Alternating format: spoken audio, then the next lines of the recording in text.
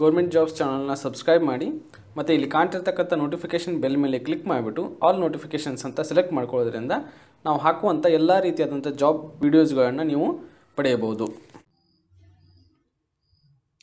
ನಮಸ್ಕಾರ ಸ್ನೇಹಿತರೆ, ಅಂಗನವಾಡಿಯಲ್ಲಿ ಖಾಲಿ ಇರತಕ್ಕಂಥ ಹುದ್ದೆಗಳಿಗೆ ಭರ್ತಿ ಮಾಡ್ತಾ ಇದ್ದು, ಅದರ ಒಂದು ನೋಟಿಫಿಕೇಶನ್ ಇದಾಗಿದೆ.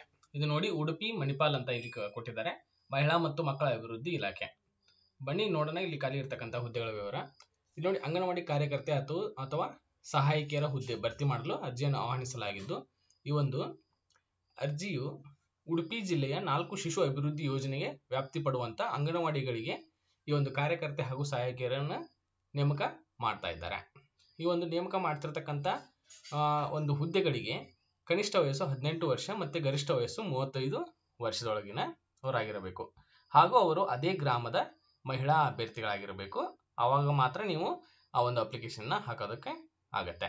ಮತ್ತೆ ಈ ಒಂದು ಅಪ್ಲಿಕೇಶನ್ ಅನ್ನ ತಾವು ಆನ್ಲೈನ್ ಮೂಲಕವೇ ಹಾಕಬೇಕಾಗಿದ್ದು, ಇದಕ್ಕೆ ಕೇಳಿರ್ತಕ್ಕಂಥ ವಿದ್ಯಾರ್ಹತೆ ಈ ರೀತಿಯಾಗಿದೆ. ನೋಡಿ, ಅಂಗನವಾಡಿ ಕಾರ್ಯಕರ್ತೆಗೆ ಎಸ್ ಎಸ್ ಎಲ್ ಸಿ ತೆರಗಡೆ ಆಗಿರಬೇಕು, ಮತ್ತೆ ಅಂಗನವಾಡಿ ಸಹಾಯಕಿಗೆ ಕನಿಷ್ಠ ನಾಲ್ಕನೇ ತರಗತಿ ಹಾಗೂ ಗರಿಷ್ಠ ಒಂಬತ್ತನೇ ತರಗತಿಯನ್ನು ತಾವು ಪಾಸ್ ಆಗಿರಬೇಕು ಮತ್ತೆ ಇದಕ್ಕೆ ನೀಡಿರ್ತಕ್ಕಂಥ ಇಂಪಾರ್ಟೆಂಟ್ ಡೇಟ್ ಅಂದ್ರೆ ಲಾಸ್ಟ್ ಡೇಟ್ ಬಂದ್ಬಿಟ್ಟು ನೋಡಿ, ಭರ್ತಿ ಮಾಡಿದ ಅರ್ಜಿಗಳನ್ನು ಸಲ್ಲಿಸಲು.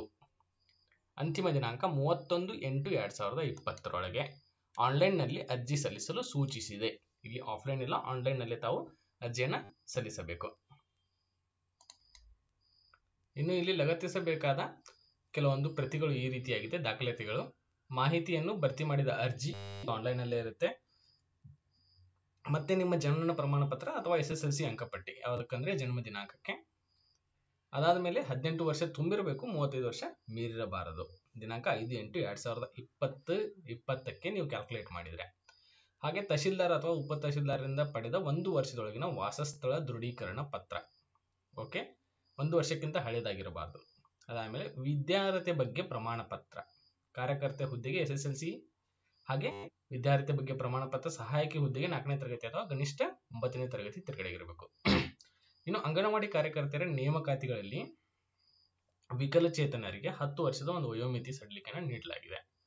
ಹಾಗೆ ಮೀಸಲಾತಿ ಅಭ್ಯರ್ಥಿಗಳ ಜಾತಿ ಪ್ರಮಾಣ ಪತ್ರ ಮತ್ತೆ ವಿಧೇಯರಾಗಿದ್ದರಲ್ಲಿ ತಾವೇನು ವಿಧೇಯರಾಗಿದ್ದರೆ ಪತಿಯ ಮರಣ ಪ್ರಮಾಣ ಪತ್ರವನ್ನು ತಾವು ಅಲ್ಲಿ ನೀಡಬೇಕಾಗತ್ತೆ. ಮತ್ತೆ ಆತ್ಮಹತ್ಯೆ ಮಾಡಿಕೊಂಡ ರೈತರ ಪತ್ನಿ ಆಗಿದ್ದಲ್ಲಿ ಅದಕ್ಕೊಂದು ಪ್ರಮಾಣ ಪತ್ರವನ್ನು ಸಲ್ಲಿಸಬೇಕು. ಅಂಗ ಅಂಗವಿಕಲರಾಗಿದ್ದರಲ್ಲಿ ಅವರು ತಾವು ಒಂದು ಸ ಪ್ರಮಾಣ ಪತ್ರವನ್ನ ಸಲ್ಲಿಸಬೇಕಾಗುತ್ತೆ. ಅಂಗವಿಕಲತೆ ಶೇಕಡ ಅರವತ್ತಕ್ಕಿಂತ ಕಡಿಮೆ ಇದ್ದಲ್ಲಿ ಮಾತ್ರ ಅಂಗನವಾಡಿ ಕಾರ್ಯಕರ್ತ ಹುದ್ದೆಯಲ್ಲಿ ಅರ್ಜಿ ಸಲ್ಲಿಸುವವರಿಗೆ ಮಾತ್ರ ಅಂತ ಇಲ್ಲಿ ಹೇಳಿದ್ದಾರೆ. ಇನ್ನು ವಿಚ್ಛೇದಿತರಾಗಿದ್ದರಲ್ಲಿ ಅದಕ್ಕೂ ಒಂದು ಪ್ರಮಾಣ ಪತ್ರ ಇದೆ, ಅದನ್ನು ಸಲ್ಲಿಸಬೇಕು. ಇನ್ನು ಕರ್ನಾಟಕ ರಾಜ್ಯ ಮಹಿಳಾ ಅಭಿವೃದ್ಧಿ ನಿಗಮದ ವತಿಯಿಂದ ನಡೆಸಲ್ಪಟ್ಟ ಮಾಜಿ ದೇವದಾಸಿಯರ ಸಮೀಕ್ಷೆಯ ಪಟ್ಟಿಯಲ್ಲಿ ಮಾಜಿ ದೇವದಾಸಿಯರ ಮಕ್ಕಳು ಆಗಿದ್ದಲ್ಲಿ ಅದಕ್ಕೊಂದು ಪ್ರಮಾಣ ಪತ್ರ ಇದೆ, ಅದನ್ನು ತಾವು ಸಲ್ಲಿಸಬೇಕಾಗತ್ತೆ. ಇನ್ನು ಪರಿತ್ಯಕ್ತಿ ಆಗಿದ್ದಲ್ಲಿ ಸಂಬಂಧಿಸಿದ ಗ್ರಾಮ ಪಂಚಾಯಿತಿಯಿಂದ ಒಂದು ಪ್ರಮಾಣ ಪತ್ರವನ್ನು ಸಲ್ಲಿಸಬೇಕು. ಮತ್ತೆ ಇಲಾಖೆಯ ಸುಧಾರಣಾ ಸಂಸ್ಥೆ ಅಥವಾ ರಾಜ್ಯ ಮಹಿಳಾ ನಿಲಯಗಳ ನಿವಾಸಿಗಳಾಗಿದ್ದಲ್ಲಿ ಮಹಿಳಾ ಮತ್ತು ಮಕ್ಕಳ ಅಭಿವೃದ್ಧಿ ಇಲಾಖೆಯ ಅಧಿಕಾರಿಗಳಿಂದ ಒಂದು ಪ್ರಮಾಣ ಪತ್ರ ಸಿಗುತ್ತೆ. ಅದನ್ನ ಸಹ, ಅದನ್ನ ತಾವು ಕೊಡಬೇಕಾಗುತ್ತೆ. ಇನ್ನು ಯೋಜನಾ ನಿರಾಶ್ರಿತರು, ಇದಕ್ಕೆ ಒಂದು ಪ್ರಮಾಣ ಪತ್ರ ಇದೆ. ಅದನ್ನ ತಾವು ಸಬ್ಮಿಟ್ ಮಾಡಬೇಕಾಗುತ್ತೆ. ಇಲ್ಲಿ ನೋಡಿ ನಿಮಗೆ ಯಾವುದು ಒಂದು ಸೂಟೇಬಲ್ ಇದೆ. ನೀವು ಯಾವುದೋ ಒಂದು ಪ್ರಮಾಣ ಪತ್ರವನ್ನು ಕೊಡ್ಬೇಕು ಅನ್ನಿಸ್ತೆ ಕೊಡ್ಬೇಕಾಗತ್ತೆ. ಅದನ್ನ ನೋಡ್ಕೊಂಡ್ಬಿಟ್ಟು ತಾವು ಆ ಒಂದು ಪ್ರಮಾಣ ಪತ್ರವನ್ನ ಆನ್ಲೈನ್ ಏನು ಅರ್ಜಿ ಫಾರ್ಮ್ ಫಿಲಪ್ ಮಾಡಿಬಿಟ್ಟು ಅಪ್ಲೋಡ್ ಮಾಡ್ತಿರ್ತಲ್ಲ ಅವಾಗ ಇದನ್ನ ಅಪ್ಡೇಟ್ ಮಾಡಬೇಕಾಗತ್ತೆ ತಾವು.